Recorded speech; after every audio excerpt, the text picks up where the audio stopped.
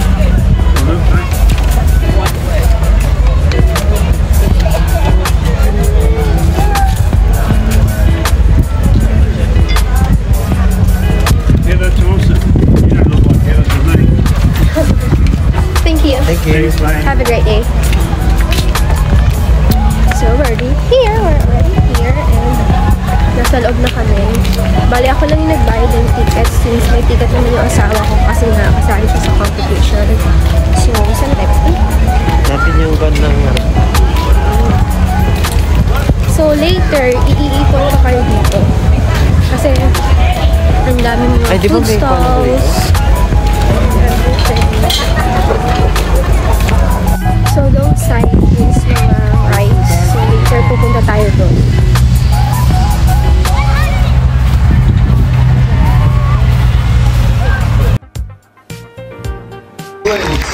Four. I've got Danilo here and Ra- uh, Raymar. First of all, Raymar, how long have you been Harvey Beef for, buddy? Four years. Four years, beautiful. Mate, what's the best thing about working at Harvey Beef? Happy family, friends. Beautiful. So, big round of applause for Raymar, everybody. Guys, this is Danilo. Danilo, how long have you been at Harvey Beef? A bit longer, eh? Yeah, seven years. Seven years, beautiful. And yourself, where'd you come from? How did, how did you get, uh, make your way over here to Harvey Beef? Sorry. How did you make your way over to Harvey Beef? Where you were before? In the Philippines? Yeah. And Joe was um, go um, training. Yep. And so, uh, That's great. That was absolutely sensational. Joe Matero went over Philippines. Um, 10, 9, 8, 7, 6, 5, 4, 3, 2, 1. Let's go, guys. Okay, they're just starting on two different products, everybody. Uh, Danilo here is doing a shin, and uh, Raymar, Raymar over here, uh, he's got the rump. Uh, obviously, uh, rump is a cut that we use in summer and you have on steaks, and the shin here is mainly done in winter. Okay. Now, as you can see, here's the shin. Now that's the hind shin. Come off the hind quarter. Now look at that. These guys have to minimise the waste okay? And try not cut into the meat. They cut into the meat that's known as the knife score. Okay, and the judges will judge fairly heavily against it. This is called a tri-tip. That's from, as you can see, a lot of fat removed. Danilo here's doing a knuckle. Now, knuckle's used for uh, sizzle steak and a lot of other cuts. Now, there is different ways you can prepare this, okay? Now, Harvey Beef exports to 40 countries around the world. Sometimes we do what they call is a thick flake, where they leave some other cut on. Here's the end product, the rump. Okay, as you can clearly see, it started off heavy, fat and connective tissue, and now they work it down to a rump. Okay, now this is pretty simple. Guys, these guys have gone to an outside, or an outside flat. Uh, first of all, there's a heel muscle which they remove. So I'll first show you the heel muscle. Now that gets packed with the hind shins as well. Now, both slices here now what we call the outside flat. Now, for those of you that buy corn silverside in the winter, um, what we do at Harvey Beef is we do process an outside flat and we make that into corn silverside, okay? And we're pretty lucky. That corn silverside can be bought just up the road at Bunbury Farmers Market, everybody. Um, and that's a product that a lot of people use uh, either in winter uh, on, a, on a cold night um, with some potatoes and then the next day they use it for sandwich steak. Here, Danilo's got that called the eye round, okay? Joe show run the eye round. Now the eye round uh, has a weird name. People also call it the Girello, okay? There's the Girello as well. And as you can clearly see, guys, we've gone from like an eight kilo of meat, and they've got three different products out of it. Here's an outside flat. Okay? Outside flat's what we use for corn silverside.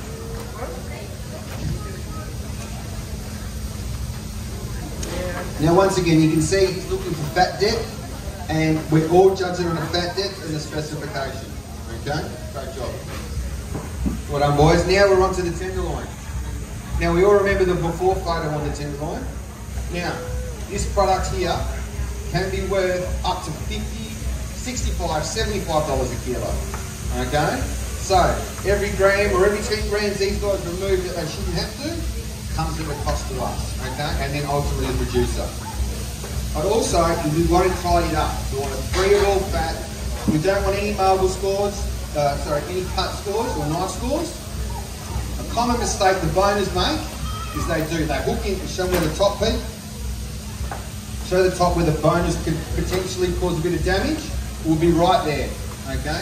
When they bone it out, they can hook it, and that's called a knife score. Once again, we're back to the knuckle over this side, and here we're going to get the flank steak. Joe, hold up the flank steak. The flank steak, everybody, is a very common Asian cut, okay? Uh, known as a teardrop or a flank steak, okay?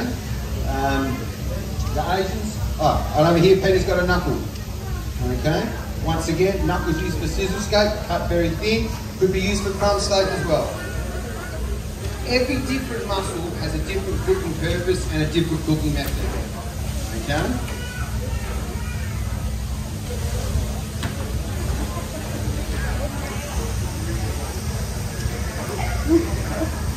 Great job, Homer. As you can clearly see, they're just removing the fat.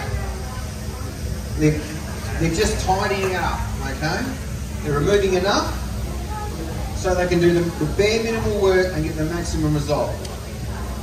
Interesting fact that Harvey beef, depending on the size of the labour force, uh, we, can, we can run up to 16, 14 man team. I think something like that these days. We have 16 boners uh, and 14 slices and some knife hands. And all they're doing is preparing these cuts to the customer specification, okay?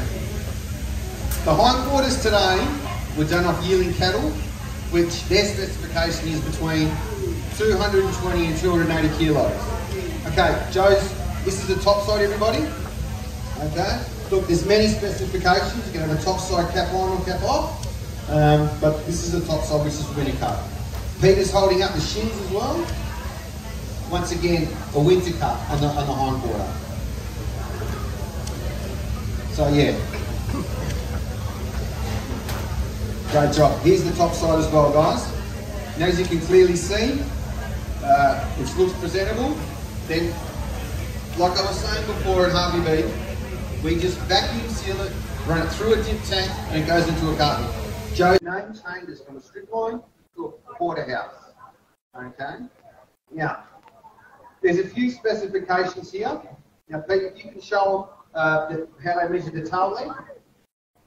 What they do, they measure two fingers or 50 mil from there, and they'll make a square cut. Okay? Uh, also, some, fat depth. Fat depth uh, for this specification today is 10 mil, and Peter has showed you there. So now he is removing any bone chips because it comes off the rib sets, and that's where the bone chips are most prevalent. Well done, gentlemen. Big round of applause. Congratulations. The um, mate. Well done, buddy. Okay, guys, we'll see everyone at 12 o'clock for the final of the competition.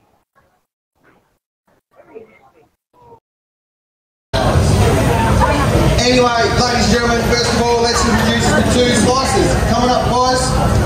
Big round of applause, please.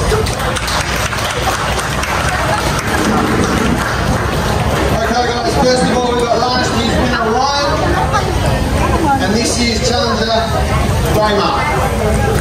Okay, I'm not going to let you off the hook, Ryan. First of all, mate, how long have you been a Harvey Beef, buddy?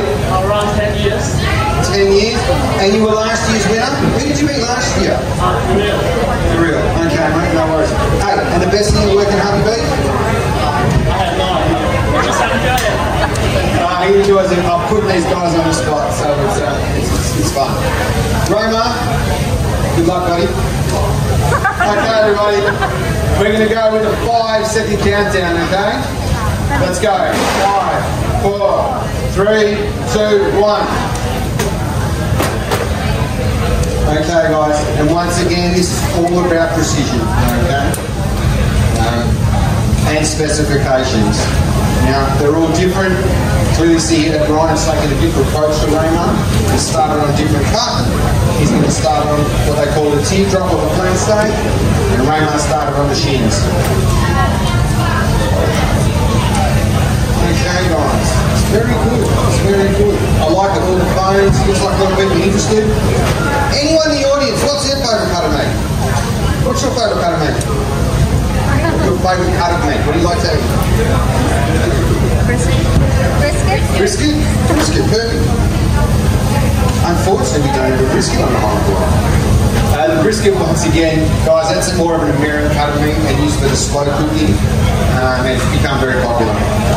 Okay, guys, I'm going to put over to Tim now. He's going to explain the rest and what these guys are doing. So good luck. Alright guys, this is where it's important after watching the boners do their work, how well they uh, they brought the primals down here for these guys to now come in and tidy up. So every cut is going to have different specifications, so different things they're looking for. So they basically need to come in, make sure that there's the right fat there, there's no knife scores, no foreign muscle left on there, there's any tendons, tidy that up. And depending on their cut will depend on what they're looking for with that. Now, I'll have a lot of mock cuts here. We try not to waste as much as we can as we're going through.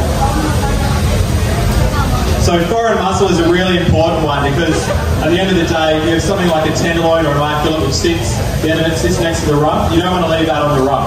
It's a big price difference in the cut and also the eating quality, so you want to make sure it's as clean as possible. So while speed is important, it's also really important to have nice clean cuts and make sure they're cutting along the right cutting lines. You can see how quickly these guys are going through here. So we've got a tenderloin down here on my left, your right. So you can see how that comes in now with a lot of fat there, maybe a little bit of kidney fat as Ben mentioned before, and then we tied it up nicely.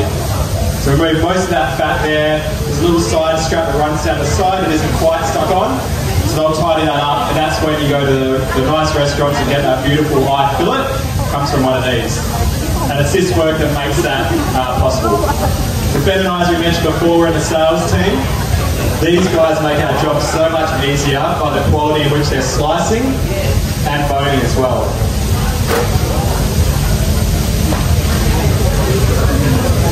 Right, so we're about halfway through here. These guys are absolutely flying.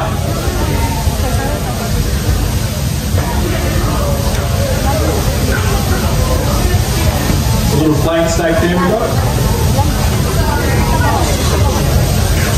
Down here we've got the strip loin, or as everyone knows, porterhouse, uh, when it's cut into steaks. So we're looking on there, some fat depth, we're looking for a tail length, which is from the edge of the eye muscle, um, making sure there's no bone chips, and then obviously getting some nice steaks cut up out of that.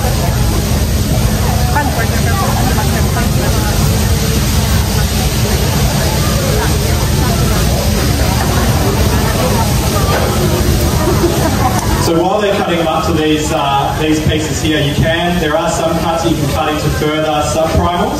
So these are our primals. A good example is a rump. So you, from your rump, you're going to end up with a nice D rump and a tri-tip. That's called a D rump because it looks like a D. Uh, from there, there we go on the uh, on the your left, my right here. So as he's cutting that up, he's going to cut the tri-tip off the end there, and then we're going to be left with a D rump. From the D rump, you can actually cut the cap off there as well. Just on your on your rump steak, you see that nice little piece at the top with the fat. That's really popular.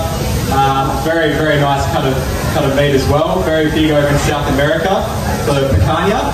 And then from there as well, you're left with a roast beef, which is not much fat on there. So here we go. This is a tri-tip now that's just been finished off. So as you can see, there's not much fat in there. It's a very underrated piece of meat. It's delicious. So while everyone might know that, you know, a few big cuts like a rump and a, a scotch fillet and an eye fillet, there are a lot of other great cuts uh, that aren't as well known but are delicious, have different flavour and texture qualities as well.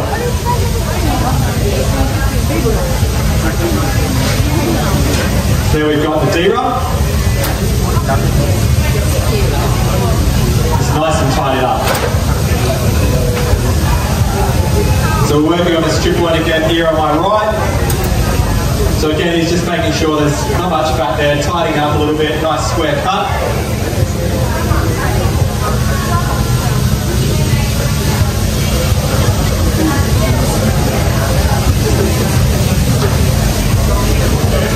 Again, making sure there's not too much fat on there, but just enough as well. Gives it a little bit of extra flavour. Pete will show as well where the tail length is measured, which is a really important part too. So with the specification, so you can see there he's showing it up. So again onto the tenderloin here. So if you can see from that point there, there is a lot of extra fat left on there, little scraps which will get tidied up nicely and really come into a beautiful looking tenderloin.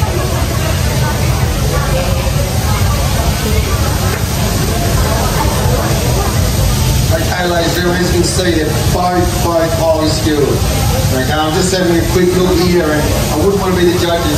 This one is definitely going to be close.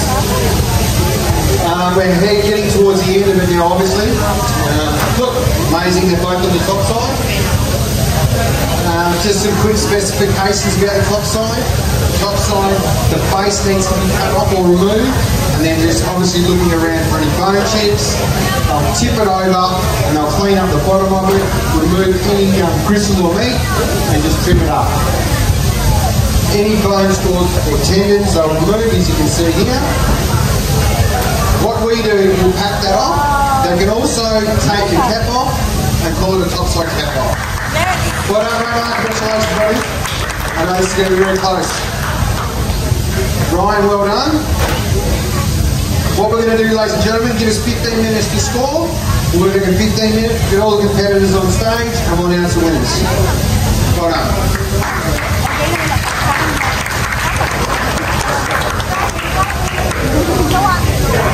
Okay,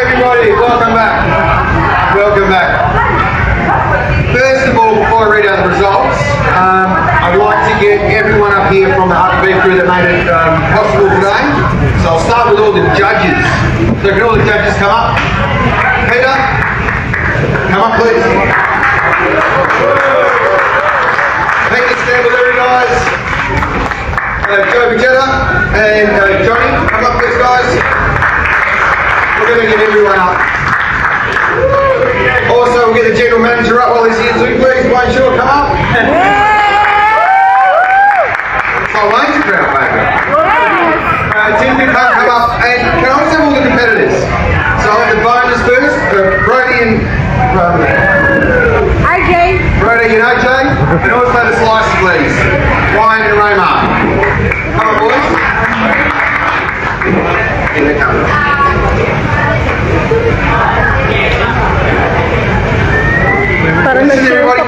we just hope that today was a little bit of. Um, just a little bit what Humphrey do. Um, it's great, we've got a great mix of everybody here.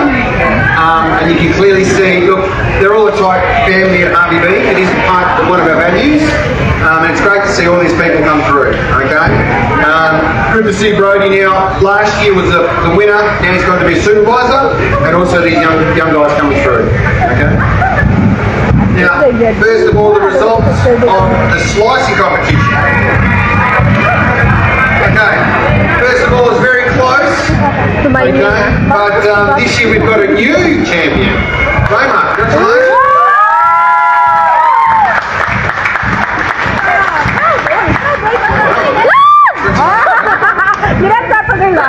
And Ryan, runner-up this year's runner-up. Ryan, come through, mate.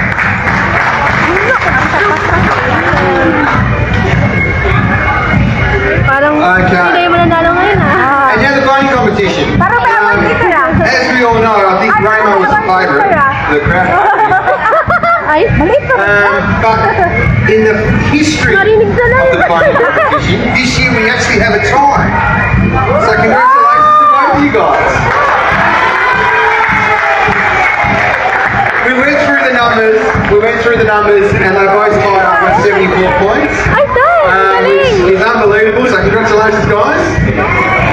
Well done, mate, well done. Um, so yeah, you guys are going to share in the prize money. Obviously we haven't got the awards here because yeah, we didn't we didn't anticipate the time. Um, but look, it just you know, I'm really glad it goes to show the high standard of and that we can't even separate um, the two boners. So can I have a big round of applause for everybody? Na ng competition. So, gaga... Ayoko! Mainit. So, gagala muna kami. And of course, panalo yung asawa ko. Pakita mo yung, ano mo, love? Certificate mo. Champion O, diba? yan. First place yan. First place, $1,000 din yan. Pang gender 27,000 reveal. Sabi mo, 27,000 pesos yan. Na, narinig na nila, sinabi mo na eh. So, nandito kami ngayon, naghahanap kami ng... Ewan ko kung anong hinahanap namin. Kutikot lang.